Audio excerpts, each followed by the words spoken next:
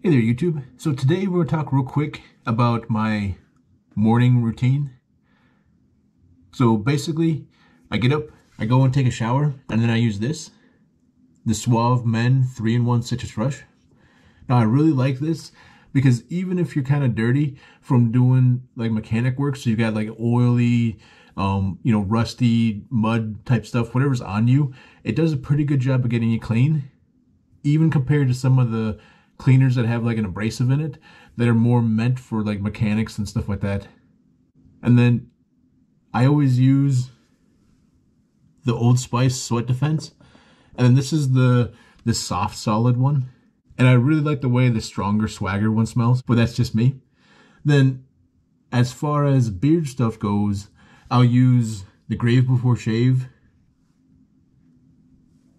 Bay Rum. And I like the Grave Before Shave oils. And they have a whole bunch of different scents, but that's like my wife's favorite scent. And then same thing with the beard balm. So I'll also use the beard balm, especially as the beard gets longer and starts to get out of control.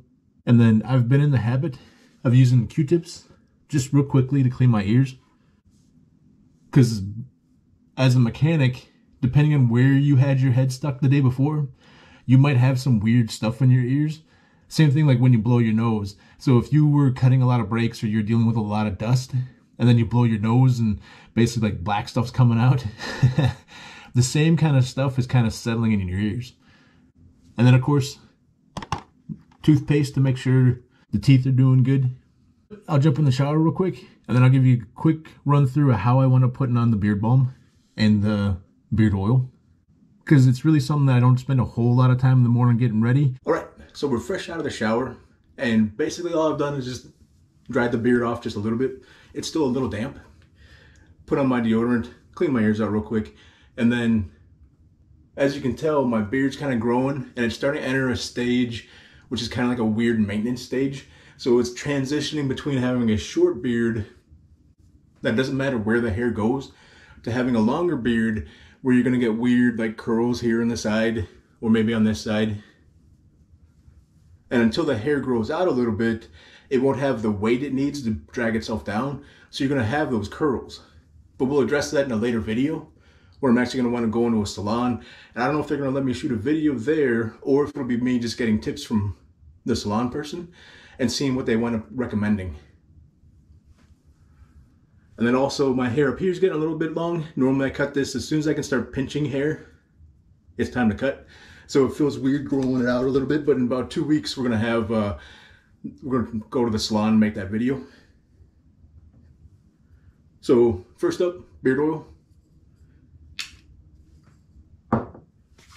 So for this length of beard, I normally do just one squirt. You can also get those in where it's in like a dropper. I'm gonna work it through the mustache, work it on the sides, work it underneath. And the goal is to kind of work it through the beard real fast. And get it as close to the skin as possible. Which sounds like almost an impossible task because you got all the hair in the way. But it's basically just working it really good all the way through. And then you're pretty much done. That's it for the oil. Now the beard balm. I always scrape with just the back of my my thumbnail. And you can see just a little bit. Can see not a whole lot. And it depends on the, how big your beard is. Now at this point, I do need a little bit more than I would have when I cut it shorter before. Run up your hands real fast. And then this, you're gonna spot, apply it almost to just like the outside. So any residual, I'll put it just in the mustache real quick and then run my hands just on the outside because it'll help take care of the outliers and the things you want to shape in. So really, that's about it. I'm done. That's normally about as far as I go. I can do weird stuff if I wanted to style it, but I don't.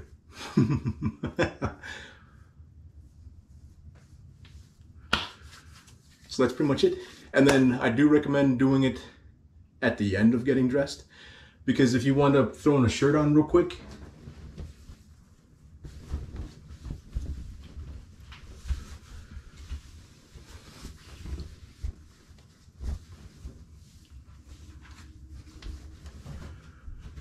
it can change it a little bit. So where maybe where you had everything in place where you wanted it, now it just needs a quick retouch and done.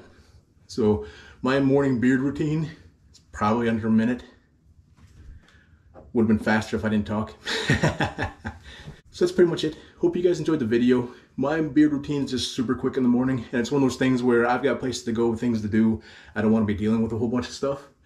So right now it's in, it's in April. And this is about when I'm going to make a big beard transition and trim it down. But having the curls over here is a moment of, well, I don't know. I what to call that. It's a target of opportunity. Having the curls over here is a good target of opportunity because it allows me to do something and make a video about maybe how to get rid of those curls before I make a video of how I truly get rid of the curls. so, hope you guys enjoyed the video. Check you guys next time.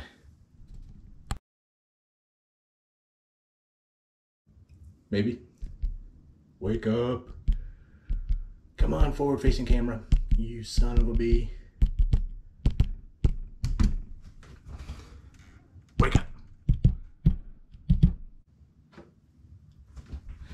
And there's Elmer's craft glue because